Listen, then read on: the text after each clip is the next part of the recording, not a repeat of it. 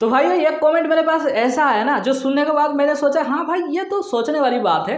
भाई 4G phone में क्या हम लोग 5G फ़ोन का वाईफाई यूज़ कर सकते हैं? ये कमेंट में जब देखा, मैंने सोचा, भाई, इसके बारे में तो एक वीडियो बनाना ही चाहिए। क्योंकि काफ़ी सारा भाई के पास अभी 4G फ़ोन है और अगर वो चाहे 5G फ़ोन का हॉटस्पॉट यूज़ करना तो क्या वो कर सकता है? क्योंकि उस फ़ोन में तो 4G सपोर्ट करता है। तो 5G का वाईफाई वहाँ पर सपोर्ट करेगा?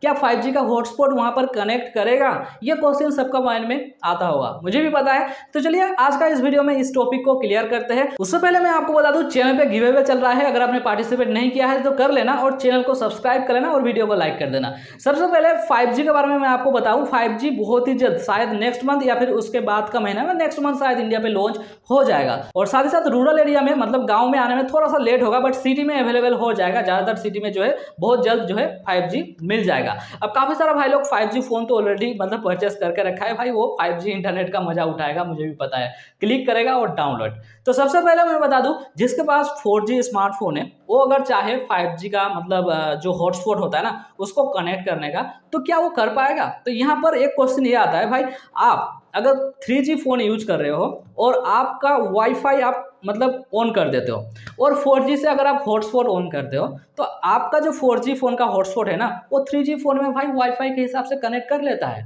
कोई दिक्कत नहीं होता है, किसी भी तरह का प्रॉब्लम नहीं होता है। तो कुछ उसी तरीके है भाई सिंपल सा है। मतलब यहाँ पर ज़्यादा दिमाग लगाने वाली कोई बात ही नहीं है बट काफ़ी सारा भाई ये सोचता है। क्योंकि ये होता ही होगा, क्योंकि भाई यहाँ पर 5G फ़ोन में 5G चलेगा 4G फ़ोन में 4G चलेगा।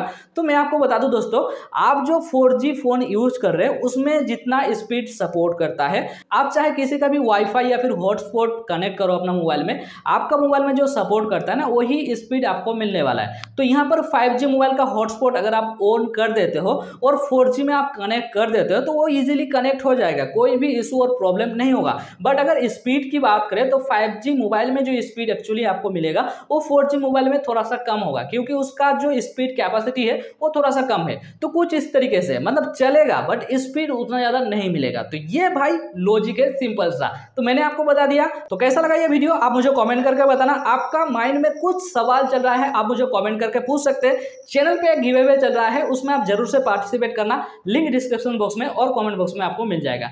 मिलता है नेक्स्ट वीडियो में। जय हिंद टेक केयर